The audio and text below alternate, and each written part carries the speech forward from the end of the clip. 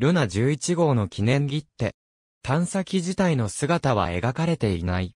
ルナ11号は、1966年にソビエト連邦が打ち上げた無人月探査機。月を周回しながら1ヶ月間にわたる観測を行った。ルナ11号の目的は、月の重力異常、月面の化学組成、ガツ金棒の流星物質、ガツ金棒の微粒子線を調査することだった。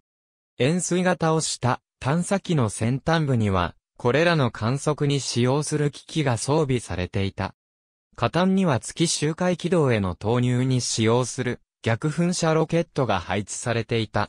電力は化学電池によって供給され、太陽電池による発電は行わなかった。純導計器として、ルナ12号とルナ14号がある。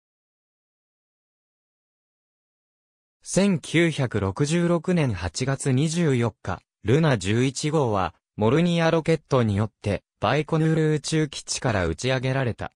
探査機は地球を周回した後、ロケット最上段の噴射によって、月へ向かう軌道に乗った。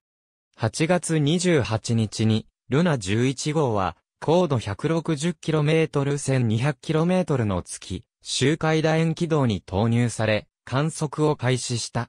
およそ1ヶ月後の10月1日、ルナ11号は、バッテリーの消耗により機能を停止した。探査機は運用終了までに月を277周回し、137回のデータの送信を行った。ありがとうございます。